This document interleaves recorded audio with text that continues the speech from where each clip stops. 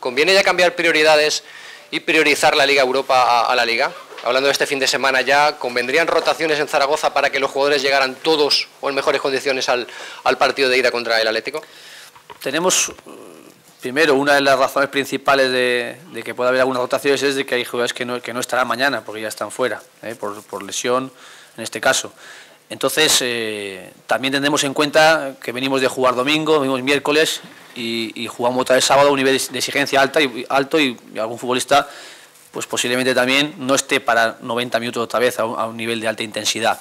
Pero para nosotros en, dos partidos hemos hecho seis puntos. Si, ahora mismo nosotros pensáramos que, tenemos un colchón, si dos partidos, por ejemplo, no ganásemos, por poner otros dos, estaríamos otra vez hablando de lo mismo. Entonces nosotros no podemos dejar en ningún momento de lado a, ninguna competición. Creo que es un momento muy importante para que hagamos un esfuerzo máximo. Y mañana vamos a, el, el 11 que salga mañana va a salir con la máxima exigencia individual y colectiva. Y no vamos a permitir en ningún momento que el equipo baje. ¿eh? vamos a, insistir en la preparación para conocer al rival, sacar nuestras virtudes, trabajaremos la preparación del partido en, todos los sentidos al máximo nivel y luego en el juego apretaremos también, intentaremos estar todos muy apretando para, para, para buscar ganar el partido, porque nosotros consideramos que aunque tengamos una cierta ventaja, que la podemos perder y además tenemos que anticipar y ser conscientes que esa es la realidad si no hacemos las cosas bien y si no nos exigimos. Y a partir de ahí, cuando termine el partido de mañana, prepararemos con toda la intensidad, con todo el rigor, con todo el interés el partido contra Atlético de Madrid el jueves. Unai, me gustaría que, trazara a grandes trazos un poco las diferencias de esta temporada respecto a la anterior en la preparación física.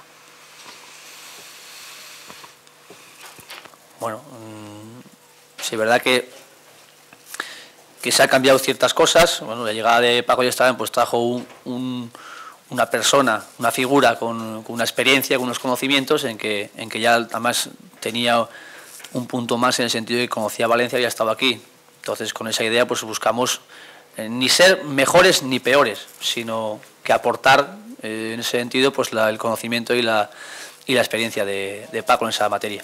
Pero no es ni que sea mejor este año que el del año pasado, ni el del año pasado mejor que el de este año, sino que diferentes. Pero la diferencia fundamental, porque se está poniendo, muy, se está poniendo en tela de juicio la preparación física del equipo. Me gustaría que alguna diferencia. Yo creo que el equipo físicamente el año pasado estuvo bien y este año también está bien. Son, son diferentes. Luego puede coincidir que haya más lesiones, menos lesiones, puede coincidir eh, que el equipo tenga mejores sensaciones.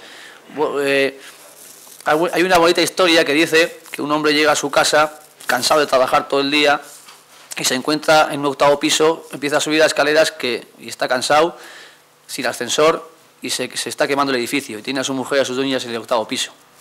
Y se cuenta la historia que en ese momento ya no hay cansancio, sino que el, padre de, el padre de sus hijos y, el marido de su mujer sube corriendo, baja a su primer hijo, sube corriendo, baja a su segundo hijo y sube corriendo y baja un octavo piso.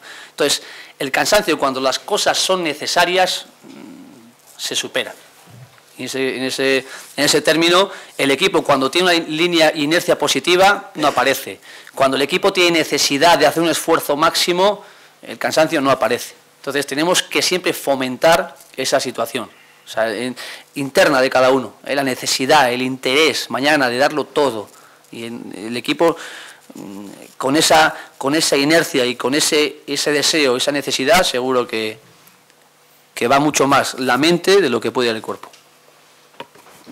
Si la comunicación con el presidente es tan fluida, si hay tanto, digamos, lo ha dejado claro que hay buen rollo, digamos, con el presidente, que todo hay el diálogo es habitual, ¿por qué en ningún momento se ha planteado una cosa tan obvia como es la, continuidad o no del entrenador? Y si hay, ahora es el momento idóneo por lo que hay en juego el jueves. Es decir, es difícil encajar que con el presidente hay un buen rollo, hay tan buen rollo y que nunca ha salido este tema en, la conversación. Hombre, yo no, la verdad es que nunca ha salido. Yo puedo hablar de lo que de, mi parte. Yo creo que, estamos en un momento muy importante de temporada para conseguir los objetivos y lógicamente pues eh, es que es para ponerle nota o para analizar de verdad lo que ha hecho el equipo esta temporada pues queda todavía por, por que pasen jornadas en Europa League y, en la Liga. Entonces yo entiendo, yo entiendo además que no, que, es momento de centrarnos única y exclusivamente en el, en el trabajo. Y a final de temporada se hacen las pertinentes eh, eh, juicios de lo que ha sido la temporada a nivel de equipo, a nivel individual y se toman decisiones. Yo esa es la parte en la que yo eh, puedo dar, puedo decir lo que yo pienso. a partir de ahí, pues lógicamente el club está trabajando para el futuro y el club es el que debe considerar con los elementos de juicio que ya tiene, que también puede tener sus elementos de juicio ya como para ir pensando lo que quiere y, en base a ello pues, pues, ejecutar de cara al futuro.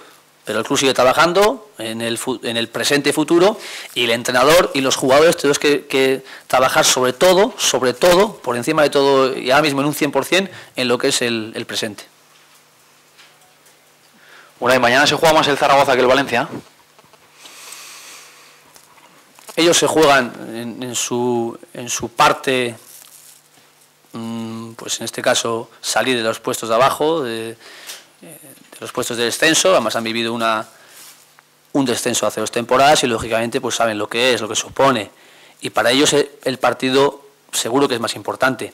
Y nosotros nos jugamos en el, conseguir tres puntos para estar la temporada que viene en Champions, que para nosotros es lo más importante. Entonces cada equipo para ellos se juega una final ellos la suya, nosotros la nuestra.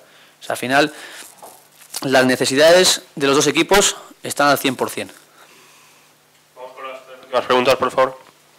Una y perdona que vuelva el tema de la renovación. Estamos hablando mucho del Valencia, del Valencia, del Valencia, pero ¿tú quieres renovar?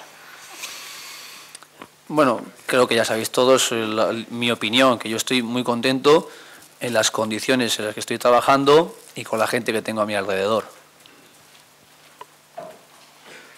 Unai, eh, por lo que has dicho, o me ha parecido entender, eh, tú si fueses presidente de Valencia o si fueses aficionado de Valencia, ¿crees que al entrenador no se le debe renovar hasta final de temporada? O sea, que debe ser un tema que no se debe hacer hasta que acabe la temporada.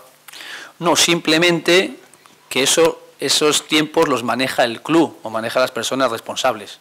Pero yo, pero yo no, o sea, las maneja ellos y me parece bien que sea, eh, que sea en septiembre como que sea en febrero, como que sea en mayo.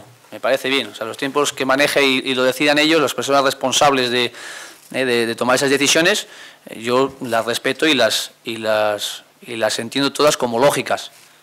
Yo lo que hago es trabajar en el presente, muy en el presente. Y además, cuanto menos me desvíe en pensar en el futuro, más ganaré en el presente. Y cuanto más gane en el presente, mejor será el futuro del, del Valencia, en este caso personal de todos. Entonces, mi máxima responsabilidad es defender eh, al Valencia en el presente con toda mi, energía y toda mi, capacidad. Y es lo que procuro hacer. Todo lo que sea restarle ahí para pensar en el futuro, creo que estamos perdiendo el hoy, que es, que es creo que, vital. Además, creo que sería una falta de respeto hacia, hacia mi trabajo. Unai, me gustaría que valoraras la, la lesión de Miguel y preguntarte por la, por la vuelta de Bruno está bien del todo, lo digo porque la última vez que volvió de, estar lesionado volvió a recaer. Ayer el doctor Gandel habló que igual se le había forzado un poquito para el partido. El caso de Bruno es muy claro. Bruno no tenía, no tenía riesgo de recaídas, sino que tenía unas molestias en las que con ellas tenía que convivir. Con ellas podía jugar, está en lo que es capaz de soportar el jugador. El jugador ha dado un paso de frente siempre con Dolores jugando hasta que no ha podido más, tanto en Barcelona y, en Bremia, hasta decir, he hecho esto, hasta aquí. Y ahí asumíamos ese riesgo porque nos necesitábamos, porque el jugador quería y porque sabíamos que no había riesgo de romperse. Otra cosa es que nosotros quisiéramos, hasta que no se van las molestias, no juega. Pero en ese caso era médicamente y sobre todo humanamente con el futbolista y necesariamente para el equipo eran los, los condicionantes para jugar, así lo ha hecho. Este, este partido, teniendo gente, pues queríamos que a ver si los, los molestias remetían más, lógicamente con descanso, mejor iba a ir, para llegar al partido del sábado, eh, porque estábamos más justos, y más aún con la lesión de Miguel, en la que en principio pues, eh, pues ha tenido una, pequeña rotura de un centímetro y también va a estar de baja unos partidos. Pero lo de Bruno es eh, desde la predisposición suya ayudar al equipo aguantando los dolores.